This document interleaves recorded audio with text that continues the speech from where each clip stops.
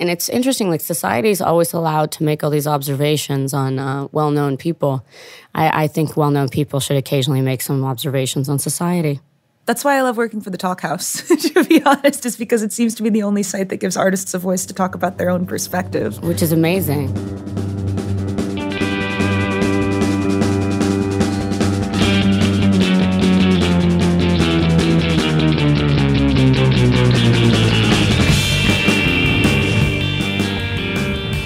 Hi, this is Nick Dawson, the editor in chief of Talkhouse Film, and you're listening to the Talkhouse Film Podcast.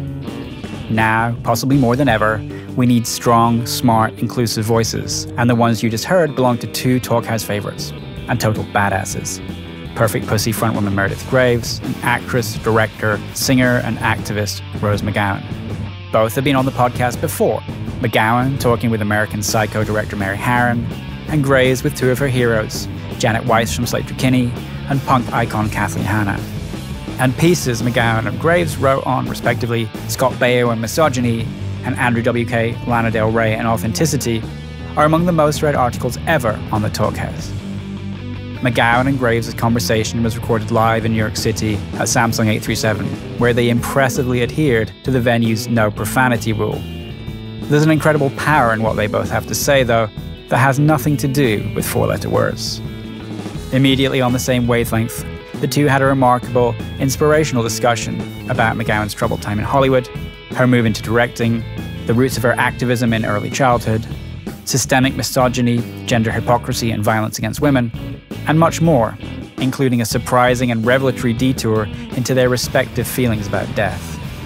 They also touch on what's up next for McGowan her forthcoming No Holds Barred book, her plan to start a female centric distribution company, and a directorial feature mashing up Jane Eyre, Rebecca, and Gaslight.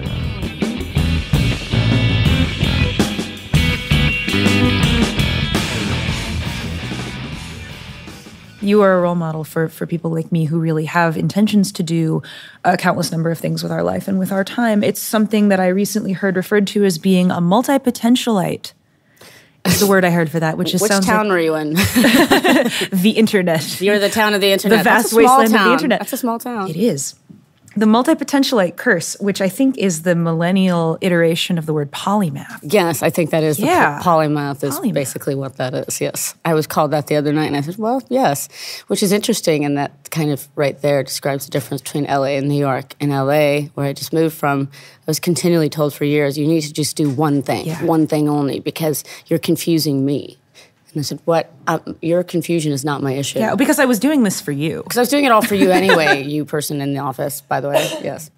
I have a lot of female friends who I talk to about that pretty consistently. One of my best friends is a tattoo artist, and she's also a musician, and she's an illustrator, and does all these really incredible things, and is good at all of them. And she was explaining the same thing, which is that uh, people really are interested in women doing one thing, and she believes it exists on a continuum from like Betty Friedan era sort of housewife stuff, where yes. if women are no longer, if we're no longer allowed to say that women are just supposed to be housewives in the kitchen, then they still have to be. Then what thing. are they supposed then what are to you? be? You're supposed yeah. to be one thing, and and essentially actually, yeah, for me, I came to the conclusion that just because you are not a multi hyphenate or able to do that, apparently, or too scared, or I'm not sure what, but don't, your problem isn't my problem. And it took a long time for me to get to that point.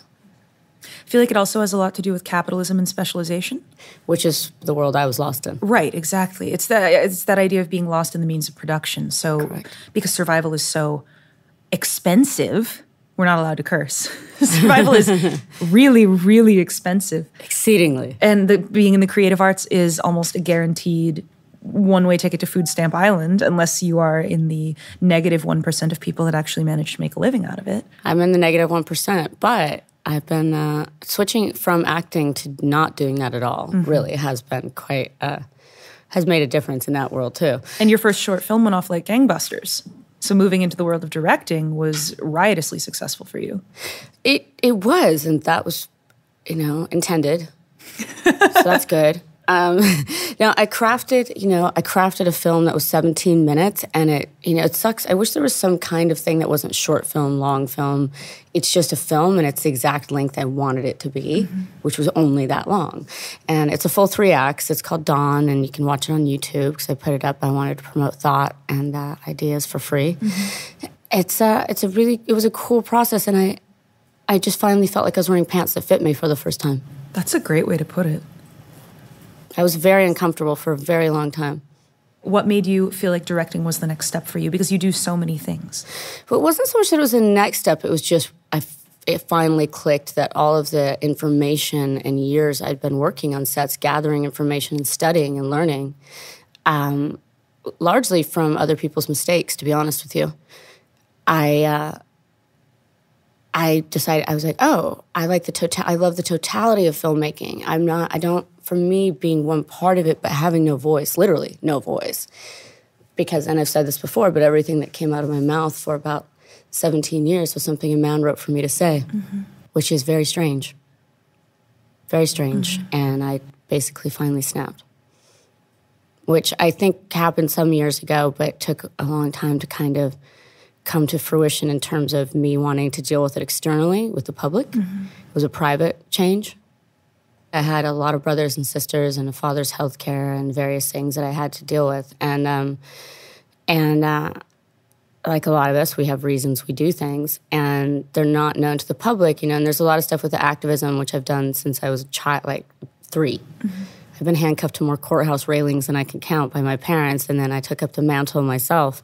But I did it privately because I was always really embarrassed. The idea that I was sold as was so far removed from who I was that I knew it would get tainted by that. And so I kept that very private until it was time that enough time had elapsed that I could just do whatever I wanted and no longer cared. And also the advent, obviously, the internet culture has totally changed and made that feasible because it's no longer what you're being sold as. That that can't wrap you anymore. And I do wish more actors and actresses and, and other people in the media would understand that. That it's their life, it's their art. And the thing is, in um, in LA, you're definitely it's drilled into you that you're a commodity, not an artist. And so to be oftentimes an artist, not around other artists, is very difficult. Hmm. That's a really striking image, the idea of there being so many artists in LA and yet being the only artist in a group of products effectively. It's like trying to suss out the one apple in a grocery store full of cheeses. It's like what in here is actual sustenance? Like what will what will sustain me? How do you make friends in a culture like that? Or is that why you're in New York? I did not. You did not. Um, I had I I mean I'm friendly with people and I have friends mm-hmm. in LA, but they're not um, the only two friends that I had really in the industry were much older actors, and they both died. Mm-hmm. And um, it wasn't out of disliking anybody and not getting along with people. It's fine. It's just not a language that I spoke. And I think that's partially because, and I don't know how you came into it. Everyone seems to come into it in their own way, but I was discovered, so I never. Um, developed this ah i must do this mm-hmm. you know i have this burning hole to be famous or whatever that is and for me i found it to be quite a shock to my system and so the only thing I could do was just wear a crazy naked dress with a big middle finger sticking up. I was discovered in a way also. And I never specifically was like, I would love to be in a band that gets to travel the whole world and puts out a bazillion records. That would be exactly what I want is to be photographed. Like I, I had no concept that that was you even an no option concept. for me. I didn't know that was even an option for me because uh, they, to be all DJ Khaled about it, they don't want you to know that that's an option for you especially because they really do want you to be one thing from birth. What would you have done if not this? I really, I always knew it was going to be this. That's the you thing. don't have like a secret passion for from molecular physics. Well, it's my sister's a rocket scientist. Really, my brother's a material science engineer, and so maybe I do have a pa- passion for molecular physics. Um, I, I ha- actually, I really wanted to um, to work with the dead. Mortuary sciences. Uh, mortuary sciences, but more importantly, I wanted to work at a place called the Body Farm in uh, West Virginia. That's where I wanted to go. Is that the place where they take the it's bodies a, to be used in police stuff? In science for science. Yeah, they, they like donate leave them out in fields and right, shit. Yeah, exactly. I know about that. And so my first job was at a funeral home, moving bodies and and stuff when I was um, mm-hmm. just maybe just before 14. Mm-hmm. And I got the job because I had this punk friend that was living for free in this top floor attic. There's this weird law the East Coast, I mean the West Coast, I think, uh, where you can live for free if they have an attic on a funeral home. And my friend mm-hmm. somehow scammed that one. And he's like, I need help moving bodies. I'm like, why not me? That's great. And uh, I found it very peaceful, and I found it um, in contrast to my life, uh, which was oftentimes very antagonistic just because of how I looked, how people always reacted very strongly to me. oftentimes negatively. Um, I found it quite soothing, and I thought that that would be a world to go into where I couldn't really be harmed. And I Yeah. wound up in a very different world where I was harmed. I actually I live in a funeral home right now. I live. I, I live back up above to a, a funeral cemetery. home. I back up to Here a- in New York, in your Yeah. new place. Yeah, yeah. Was that a conscious decision? Yeah. It was. You you I- you're affected by the peace of being around. completely. Yeah. There's about five thousand people buried in this very small cemetery, and uh, that's very funny. I, I find it very soothing, and it's like kind of a weird form of home nostalgia. When I was a runaway, I used to sleep in funeral homes, and Sure. I've always just felt quite safe there. And um, not that you know, it's not a morbid thing. I don't see why people have such a problem with death. Death frankly. isn't implicitly morbid. That's a really Western so. conceit. It's a very Western very conceit, Western. and I, I think it's very narrow-minded. And I think I think America has a lot of what I've noticed, just because I'm not from here originally, Mm-hmm. is um, I'm from Italy, and spent a lot of my working time, except for when I was on a TV show, largely working in Europe. Uh, I, I find that they have a much greater concept of time, certainly in Eastern religions and, and, and societies. Like they're okay with the cycle. You know, you are just a piece of sand on the great beach of life, and that's okay. Whereas a lot of times in very LA, like they cannot. There, there's it is we are the masters of the universe, and no, actually, no, you're not. And we need to make something that means we'll be remembered forever. Forever. Like, no, no one has ever done that, ever in the history of anything. Like, Ever, we yeah. barely can piece together our knowledge of ancient and archaic civilizations because paper disintegrates and the truth about everyone and everything will be lost to time. There's no more comforting thought in the world than the idea that someday you and every mistake you've ever made will just evaporate. It will just evaporate. What a wonderful feeling.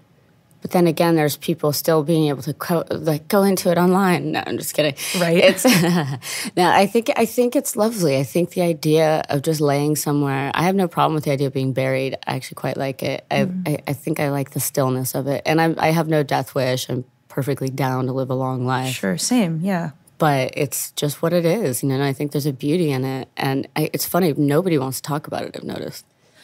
Not a lot of people want to talk about death. There's actually uh, my my boyfriend has a very very interesting friend who's done a lot of humanitarian work around the world. She's been to Syria and Afghanistan and done outreach work in different communities. And she organizes with a few friends of hers something that she calls the death dinners, where she gets people who are very much alive and people who are very much dying, along with medical professionals and people from the funeral industry, and just a great assortment of people to sit down over a dinner and to talk about death how it's impacted their lives, their plans for their own death. And it's really an eye opening experience, like a transformative, almost psychedelic experience for a lot of these people because no one is ever asked to talk about death in a reasonable, practical way.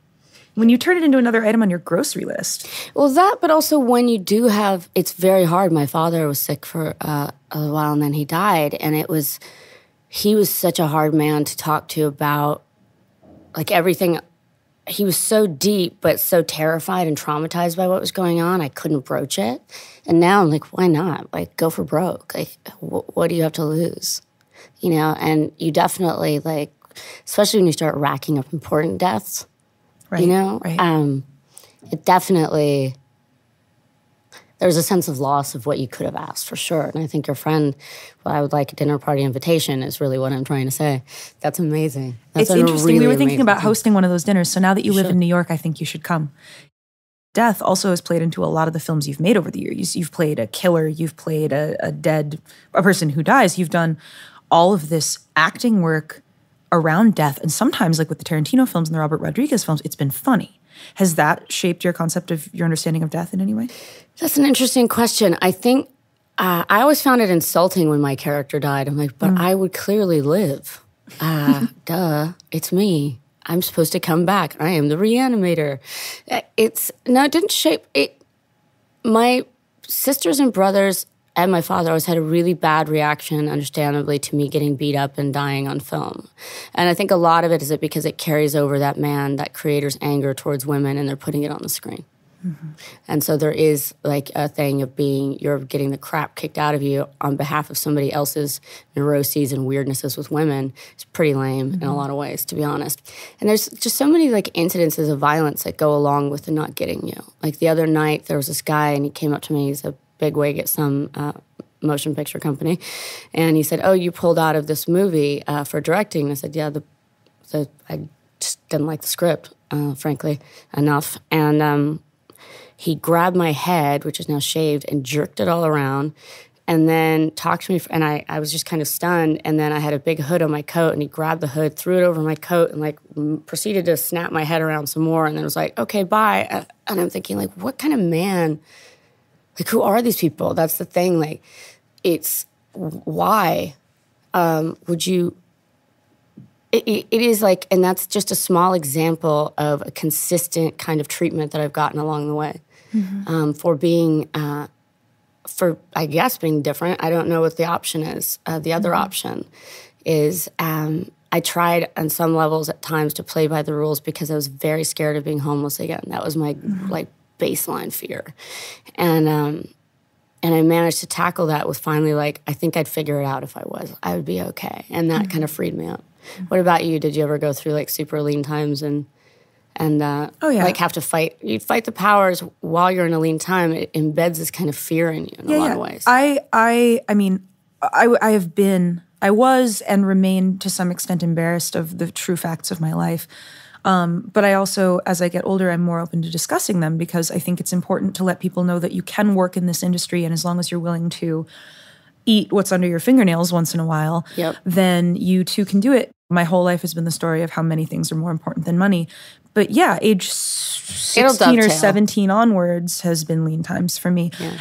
And it has only gotten more exciting and more fun um, since that has happened. I don't want anyone to, I mean, circumstances are circumstances, and people are fr- confronted with some tough stuff, yes. especially in a time of such massive divisiveness, massive divisiveness in our global economy. Yeah. Of course. So I don't want to be the person that's like, you should want to starve if you really want to make art. And I can't understand people like I, I don't know what they've been going through, of course, but I know that from my perspective, like, yeah, I've I've definitely made those sacrifices and I just had to have stuff go completely awry a couple of times and have 24 hours to find a new apartment or be told you can either stay at your job or be in a touring band, but you can't have both. You do become fearless after a while. Like you you you are resilient not you become resilient when you don't have a choice. You cannot choose to be resilient. You are resilient when you bounce back from circumstance over and over and over continually. When you show yourself to have that resilience is a consistent property. Of course. Yeah, but it I has was, to initially come from from incident. I think. I, I don't know about that. I actually don't know about that. I was born into a cult, and I would say by age three and a half, they would come and sit on the end of my bed and they would say, Rose, if you let God into your heart today. And I would say, No, not today. Maybe ask me tomorrow.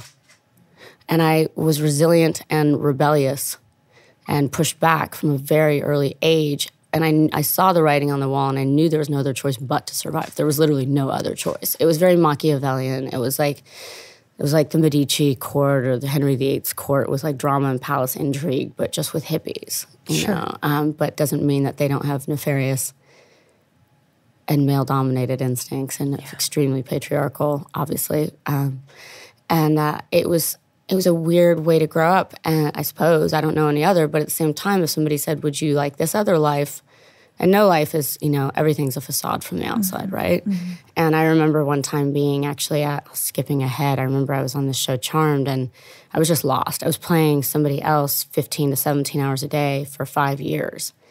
I only got to be me and my part time, and I was tired all the time. So it was only like kind of my worst version of you myself. You didn't even get to be the me that you liked. I was not the me that I liked. Yeah, that's the worst feeling in the world.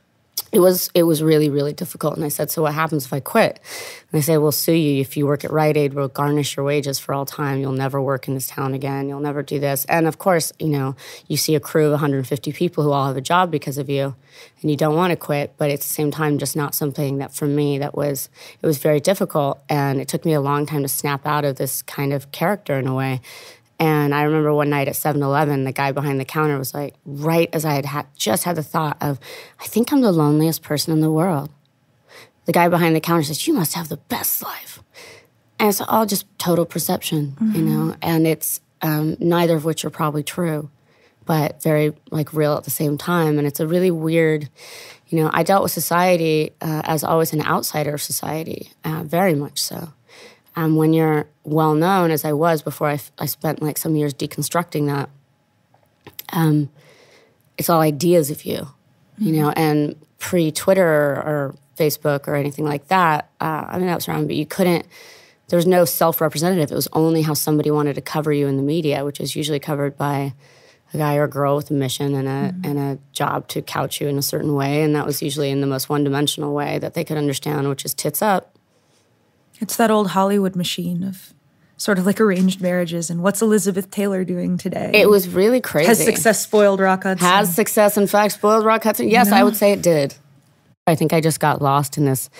I just got lost in this weird PG world, like for because of the show. because of the show mm-hmm. largely, and it was just I dressed like some. I mean, you know, for five years you're wearing stuff straight. You're wearing stuff you wouldn't normally wear, talking to people you wouldn't talk to, mm-hmm. doing stuff you wouldn't do, and it's very very hard to like. It took a lot, you know, a car accident, my dad dying, all, I was paralyzed in my right arm. It took all these things to like get me literally out of this life and I'm grateful for them. Not my dad dying, but I'm grateful in retrospect for it took so much to snap me awake because I was so alone in that world. Right. I'm writing a book right now. Actually, I'm starting it. It's called Brave Fiction or nonfiction? nonfiction. Nonfiction. Yeah, it's it's um, it's kind of uh, it's an early overview of my life, and then about what Hollywood stole, what I took back, and how you too can be brave in your own life. And these stories that you're talking about, about things that happened to you on the set of Charmed and instances you've had, like the one you had the other night where the guy touched you without your permission, which I'm Which still. is the mildest thing that's happened to me. By the way. it always, yeah. People. and that's a daily thing. we've become so as our society has become so like industrialized we think of human touch as being horrific only in the context of like war Correct. and rape and it's it's Violence is very subtle. violence is incredibly it's- subtle it's subtle, physical subtle. violence is subtle That's what I'm talking about. Psychic and, and uh, physical violence is very subtle. It's big and it's subtle at the same time. And I don't think people think of that there's a lot of gray areas in, in male and female violence. Pa- the patriarchy is one big violent gray area a lot of the time because it's what prevents you from speaking up Right, which I'm no longer prevented by because I actually don't even care. Like, yeah I because you're don't you're care. off on a thing I'm like, what are you gonna do? Fire me? Good luck. good luck dude I choose not to be. And then someone's like, yeah, this this agent. And I'm like, yeah, but they cannot hire you. I'm like, I don't want them to. right and do you find And that's how they keep you in the fear. Like, yeah, but they cannot hire you. That's an implicit threat by that was like someone who represented me. And that's like a veiled and that's a constant thing. And that's just like, you know, they won't hire you. They won't do this. You have to do this, little girl. Stay in line, little girl. Act pretty, little girl. Act pleasing. Don't cause a fuss. You're the type that would cause a fuss, so you better not cause a fuss because all eyes are on you to cause a fuss. You know, and I mean, look at Winona Ryder. She got arrested for shoplifting. Meanwhile, that was my favorite thing that ever happened you have yeah but meanwhile like for it like killed her career for a very long time. And you have people like robert downey jr who like had guns and drugs in his car and uh, broke into someone's house and like woke up in a kid's bed. And and that's fine. Not saying it's not fine. Uh, i'm just saying that's like there's there's very clear illustrations of who gets by with with what. And, Yeah. and it's not the girl. No. And that needs to change you know, there's this great axiom that I always touch on when I have a friend who's going through something like this, which is this idea that if you always tell the truth, you'll never have to remember anything. You'll never have to like keep track of anything if you're just constantly telling the truth. But when women tell the truth, you have situations like um, or when women aren't allowed to tell the truth when they're when they're stay in line little girl you get britney spears shaving her head and smashing in windows Correct. with an umbrella you get amy winehouse dying dying you get. Amanda Bynes throwing bongs out of a hotel window at cops, and everyone goes, "Where did, where did this come funny." from? She was such a good girl." And it's like, Yeah, that's why. Trust me. Yeah. Like Britney Spears, like that, my best girlfriend hung herself, and before she did it, she shaved her head off. And I was, you know, when Britney Spears, and I remember, you know, I was living in LA during that culture at the time.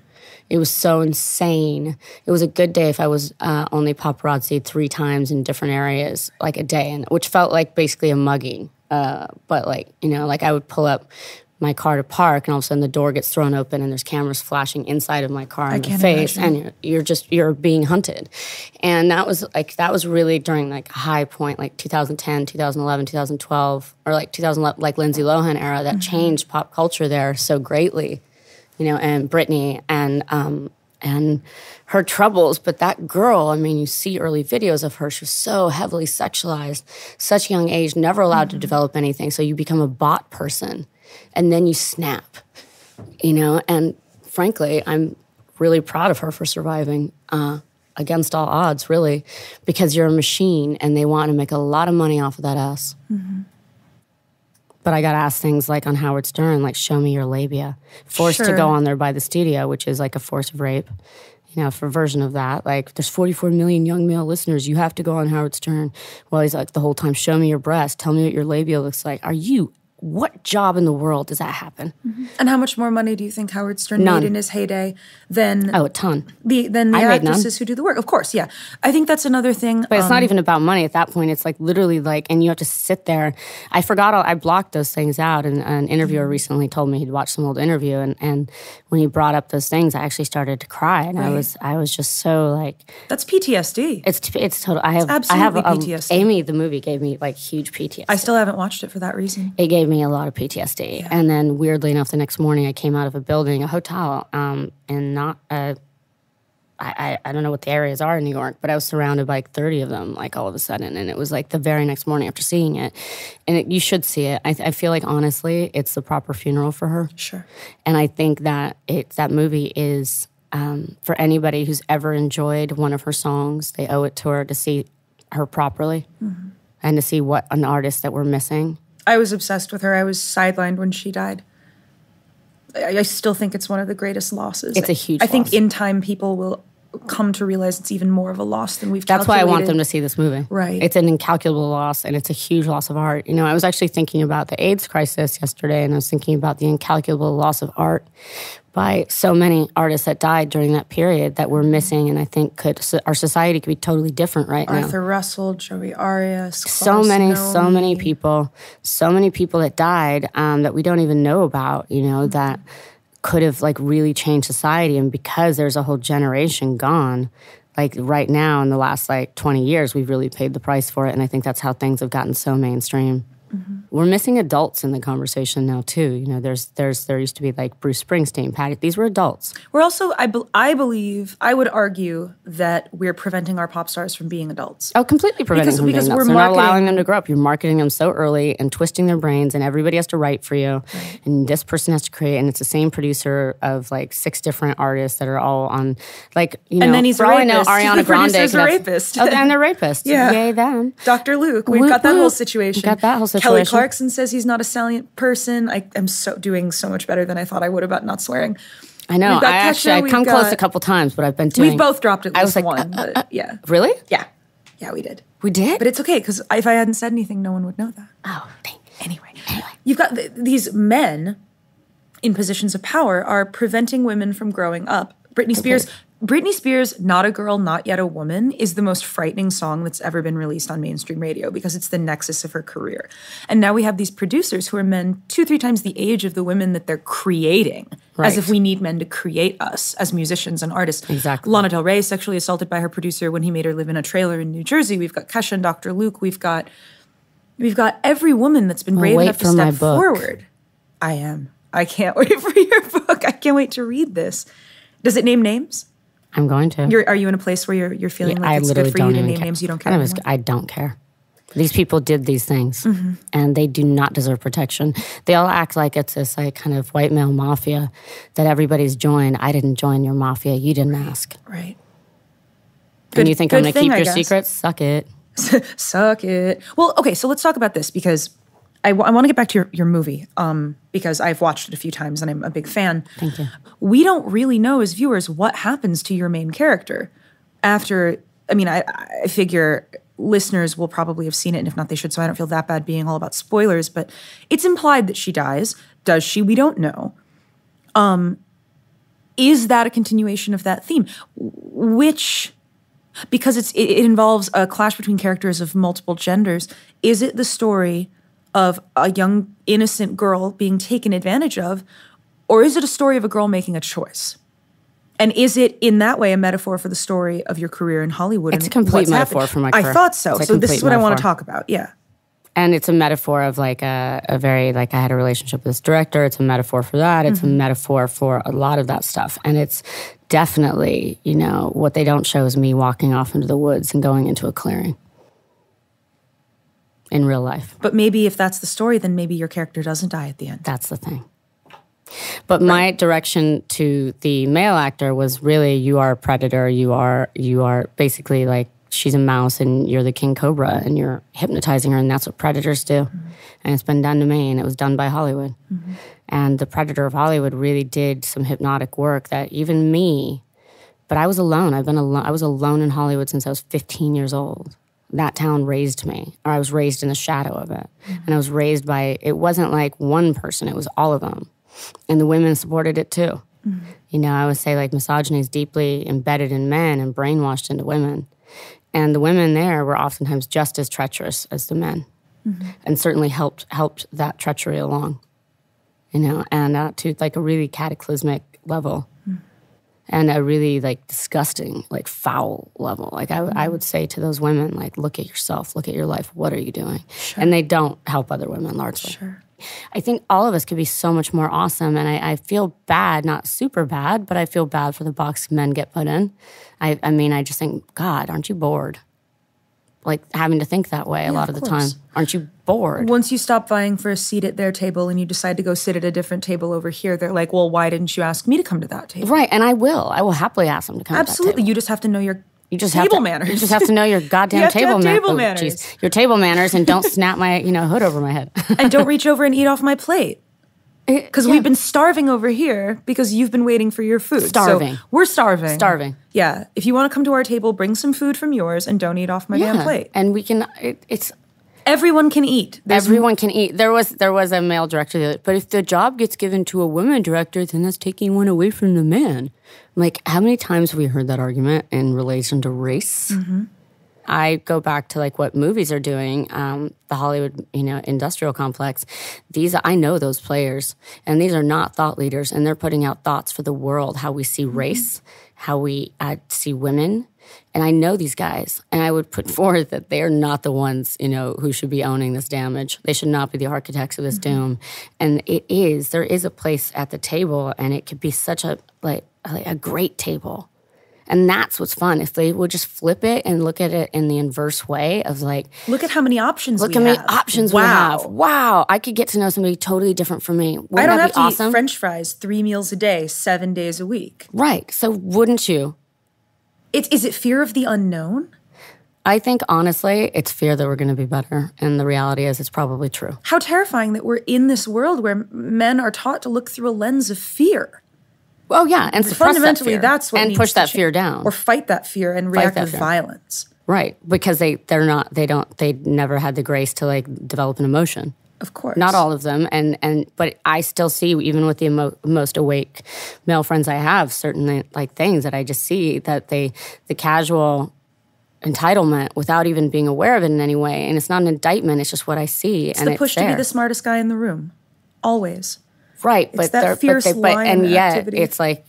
God, give me the confidence of a mediocre white man. You know, like, like it's it's very like, and I say this with white men around me whom I adore, and I have I have a boyfriend, I have brothers. This is not this is an indictment of the idea of it. I hate that we have to say that, though. I hate Honestly, that I have to say that. It does you're right? I and, said and that I feel recently I in an but- but interview. you know, Yeah. It, you're right. You're right. When you know, it went to print. I was so embarrassed for it being like people. People call me a misandrist because I've talked Yes. very openly about deconstructing through any means necessary that masculinist lens and that paradigm. Yes. And I feel like I'm compelled to remind people that I make music with men.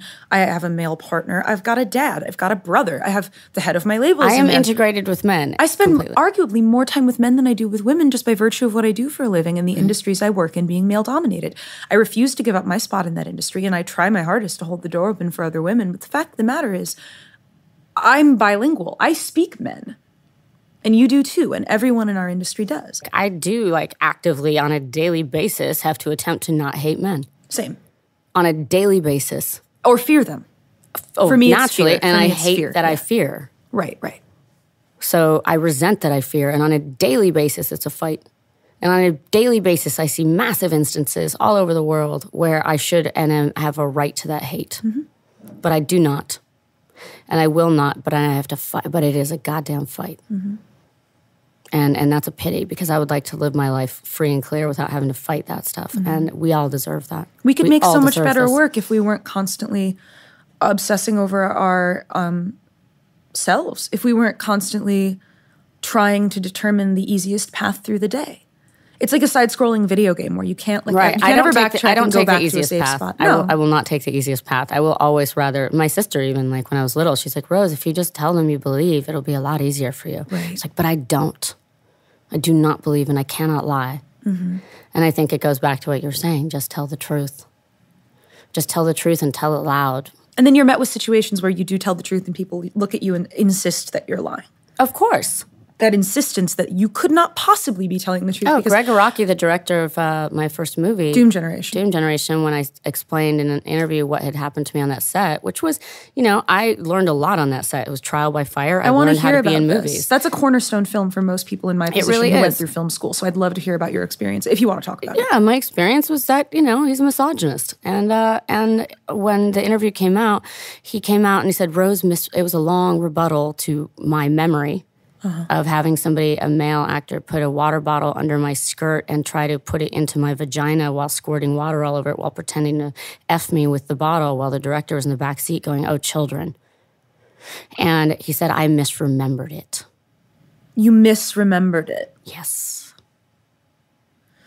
It's that I'm like my vagina remembers. right, and we we trust these men you. because he, he's you. literally a professional crafter of narrative. A professional crafter of narrative who offered no protection because of his own instilled beliefs that women are less than. Mm-hmm. Which, if you asked, of course, he would say, No, You're misremembering it. you're misremembering. You wore a short skirt. You deserved it. Mm-hmm. What's the difference? And these arguments are used to justify everything. Everything they've done. The gang Without rape of a woman in yeah. India on a, They don't a public look at themselves that transportation to to Britney Spears. Like the It's a way that to totally not look at themselves and let themselves off the hook, which is gross. if you play a hypersexualized character in a film, the director and the other actors on set treat you as a hypersexualized Oh, you have no idea how it was. It was really disgusting. It was dark, and it was, um, and that character wasn't any more sexual than those men. Right, but the men get to call it like you were talking about earlier, where no one ever wants to talk about actresses in terms of their method. The men get that written off as method acting, and they're consumed by their character when they're on set with this Oh film. no, you didn't get the same. it's in, uh, same not at all. It's an ex- at all. It's an excuse when when a young male actor is like I'm a method actor. I'm like, oh, you're a bully, and you're uh, you're using that as an excuse to abuse women around you, Mm-hmm. basically, and abuse crew, which is intolerable to me. Mm-hmm. Um, I won't have that on my sets. I will not have that. I will not have anybody abuse a crew member. I will not have anybody abuse a woman. I just will not tolerate it. And it shouldn't ostensibly, be the men are making more money to behave that way. Of course they are. and the fiscal I was almost always tech the number one in the movie, Mm-hmm. usually, but I was always number two on the call sheet. sure.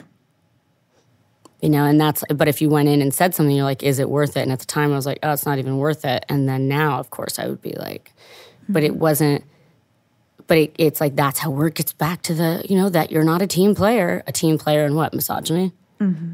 Whose team? Whose team? You didn't invite me to join your team. You didn't invite me. You yeah. didn't ask, and I wouldn't have come. Exactly. But now that you're directing, now that you're in a position of greater power, how are you dealing with those situations? Now that you ha- can ostensibly assert more control over situations like that, how are you choosing to deal with it? Well, I mean, there's a zero tolerance. Sure. that would could be completely just unilaterally not allowed. Um, there's no way I would ever put a girl at risk. And certainly, I mean, there's there's so many instances. Like I've worked with so many like men who they had to do a sex scene where they wear it, they call it a. a C-O-C-K. I'm not saying it out the loud. weird a cock sock. naked suits? The naked, no, the sock. But they make the the female assistant stylist put it on them in their trailer because they can't do it themselves. Huh. Welcome to Hollywood, kid. Welcome to You're on your knees in front of a man because you're and you're getting paid eighty five dollars a day to be an assistant, if that, to a stylist on set 'cause you want to learn a craft, and that's what you have to do. Right. Yeah, some craft. Some craft. It's dark. It's a dark place. People don't realize it, you know. And I, I hate to disillusion people if they have any other idea about it, but it's, I think people believing anything other than the truth is disillusionment. I think so too. I find it offensive. I'm like, it's actually the truth. I know. Mm-hmm. I am. I am ground zero for this. Mm-hmm. I was it. I was the pixel that was sent out to be masturbated to. Mm-hmm. I'm very aware of what's up. You know, so to to completely deny my experience and wipe that away with misremembering. Mm-hmm. Oh no, I've remembered all of it. I've been taking notes. Mm-hmm. I got receipts. I got receipts. I paid a lot of price. I paid a heavy, heavy price. Mm-hmm. And it's taken a lot of years to put myself back together. Sure. And somehow you're still here. and somehow You're, you're electing to still be part of this, I'm electing. I'm electing to actually change society. I'm Mm-hmm. electing to push. I'm electing to use a platform that I worked really hard at, even though I spent like the last eight years really disengaging from fame uh, in in that context, um, and to do it on my own terms. I did realize I am essentially a politician of sorts, but I can't be voted out of office that you can if you're still in the industry, if you're doing it that way. But I think as an artist, you can't be voted out of that. right. If you're an artist, you cannot be voted out. And uh, therefore, that, that does make me dangerous to them. And they are lashing back, believe me. How do we get more money to young women who want to become interested in film? Exactly. How I- do we get more teenage girls feeling like it is within their means to go to school and study film? With the technology we have at our disposal, with tiny cameras We're just going to have to start doing it ourselves all the time. all the time, relentlessly. How do we get funding to girls? How do we make it so trans actors play trans roles? How do we get people the you space and the resources to tell actually their own stories? do it. You wake these people up so they actually have to do it. But short of putting a bomb us. in their office, how do we get the Right. money away from men? Um, How do we I'm take working their really- jobs most effectively? How do I take your job How do I most effectively job? and do it better? Um, I think uh, you know. I, th- I think that's the conundrum, and that's I'm working really hard at that. I would ultimately like to have you know one of the things I want to have is my own distribution Mm-hmm. company for women and platform for women. Um, not just to sit there and bitch about stuff, uh, which is another term that we largely get stuck with, Mm-hmm. um, but to actually like do it. And I think if all those women that are deeply brainwashed in Hollywood, they too have access to money. They need to wake up. True. They need to wake up. True. And they are not serving their sisterhood. Final question: If you could remake one thing, what would it be? Uh, I want to take a movie that uh, puts together Gaslight.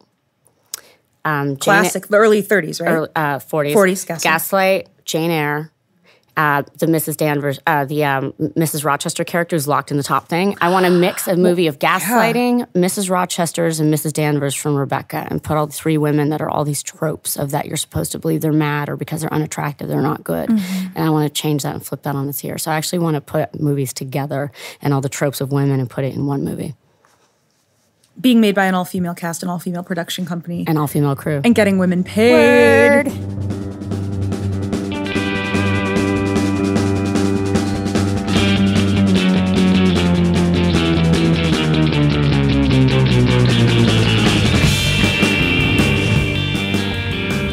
This is Nick Dawson from Talkhouse Film, and you've been listening to Meredith Graves and Rose McGowan on the Talkhouse Film podcast. This episode was engineered by Talkhouse podcast producer Elia Einhorn and edited by Mark Yoshizumi. For more filmmakers talking film and TV, visit thetalkhouse.com slash film.